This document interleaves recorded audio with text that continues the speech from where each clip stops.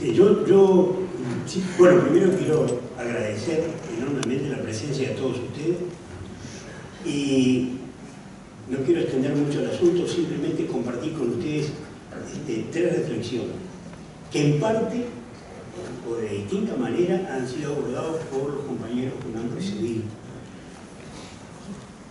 Pero trato de sintetizarlos y de decirlos de la forma más brutal a ver si cala en la, necesidad de que, se materialice.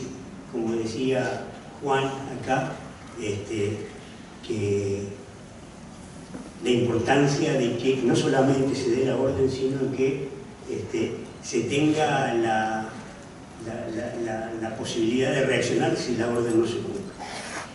La primera conclusión es que la, cobardía del poder político este, está presente cada vez que tiene que enfrentar la autonomía militar. Es decir, a lo largo de todo, este proceso de búsqueda de los desaparecidos, hubo una debilidad del poder político que a esta altura, a mi juicio, se manifiesta en una cobardía. ¿Y por qué? Porque no, no hay voluntad de enfrentar al poder militar. En 1985, cuando se, empieza a, generar el proceso para la ley de caducidad, para instalar la, impunidad, se decía, este, bueno, lo que pasa es que si no, nos dan el golpe de Estado. Hoy el argumento de que el golpe de Estado puede ser la consecuencia de una acción contra el poder militar o para limitar el poder de los militares, aparentemente no existe. Entonces, nos tenemos que preguntar por qué el poder civil no se anima a enfrentarse a la autonomía militar. Es, un, este, un, hecho que, está, que es central en todo lo que tiene que ver con los derechos humanos y creo que, como decían acá, tiene que ver con la democracia La búsqueda de los desaparecidos este, se, desarrolla por la vía más difícil, la este, que están desarrollando los compañeros del GIAF, los antropólogos forenses, que es este, el trabajo persistente, a menudo frustrante, de la búsqueda, este, eh, horadando la tierra, ¿verdad? centímetro por centímetro. Hay otra forma de llegar a los restos de los desaparecidos y es que eh, los militares brinden la información. Pero sabemos que no la quieren brindar. La zanahoria, por ejemplo, fue, eh, digamos, el operativo de desinformación de la inteligencia militar más grosero que se haya instalado en Uruguay. Hasta ahora no ha habido una sola evidencia de que los cuerpos de los desaparecidos fueron desenterrados y, como dice eh, la zanahoria, este, incinerados y sus cenizas este, dispersadas en el mar. La Comisión para la Paz es bastante ambigua con respecto al, destino final de los desaparecidos, dice que no pudieron obtener información. Pero hay una cosa que lo señala este, específicamente, no recuerdo bien el lugar, pero creo que es Playa Pascual, y dice cuando fueron las cenizas fueron dispersadas en la Playa Pascual. O sea, para, establecer que las cenizas fueron dispersadas y tenían una información muy precisa. Ahora, ¿dónde estaban enterrados? ¿Quiénes los enterraron? ¿Por qué? Este, eh, ¿Quién decidió la desaparición de eso? Este, la Comisión para la Paz y todos los procesos posteriores han fracasado en un intento de dar una respuesta. Entonces, la operación Zanahoria es, digamos, de alguna manera la, comprobación de que los militares hacen cualquier esfuerzo para impedir este, este, que se descubra dónde están los, restos de los desaparecidos. Yo creo que finalmente los, esos restos van a ser encontrados y que así pasen los años, los compañeros que están trabajando en esa búsqueda lo van a lograr.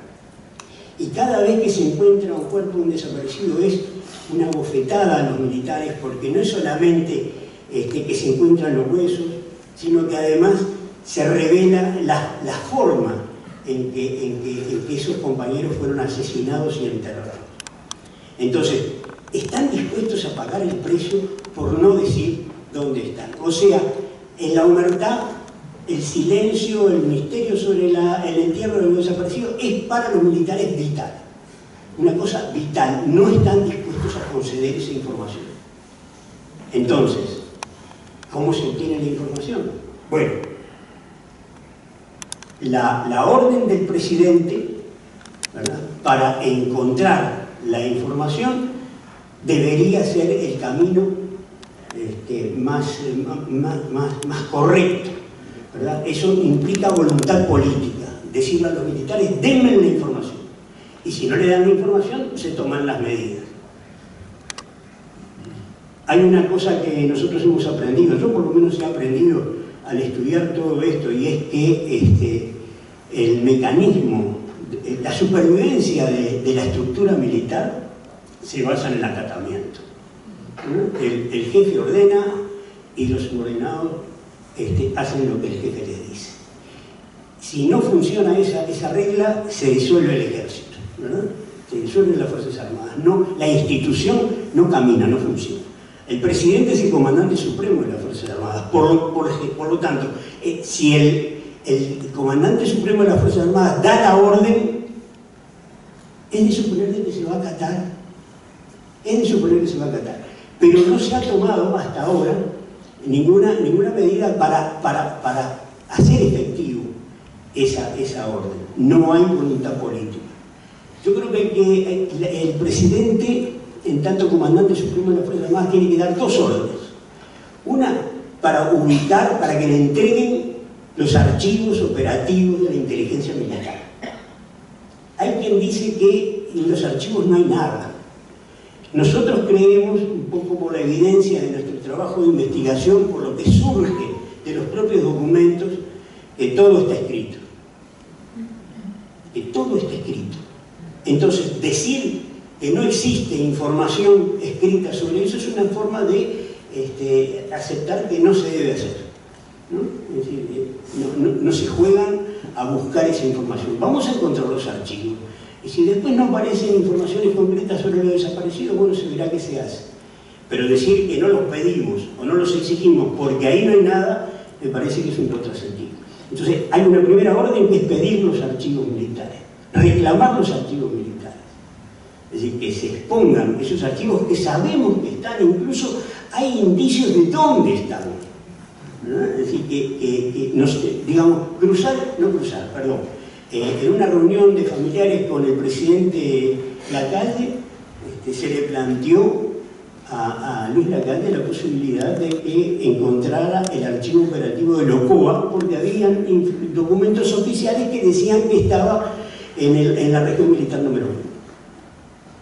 Y, y Lacalde dijo, este, bueno, déjenme pensarlo, y hasta ahora está esperando la respuesta de Lacalde sobre qué va a hacer con esa información se le entregó y que estaba apoyada en documentos. La segunda orden que, el, presidente tiene que dar es la de que digan dónde están enterrados los desaparecidos. Esa es, me parece que es la, orden que va a culminar ese día cruce de los familiares que siguen esperando saber qué pasó con sus, seres queridos. Es decir, ¿y cuánto hace que estamos eh, reclamando que se, sepa la verdad sobre los desaparecidos. ¿Cuántos 20 de mayo más tienen que pasar? ¿Hasta dónde la marcha del 20 de mayo tiene que crecer para que el poder político diga, bueno, hay, un, clamor popular sobre esto y tenemos que actuar?